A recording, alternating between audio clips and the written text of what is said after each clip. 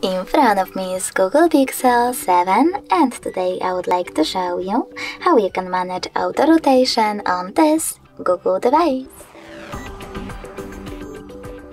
You need to start by accessing tab menu and looking for auto rotate icon.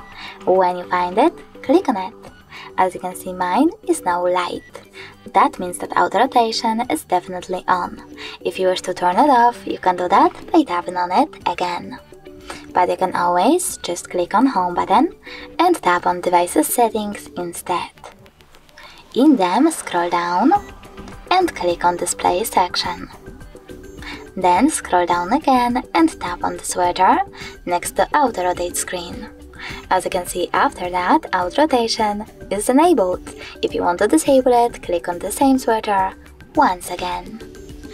Thanks so much for watching. If you enjoyed this video, don't forget to leave a like, comment and subscribe. Bye!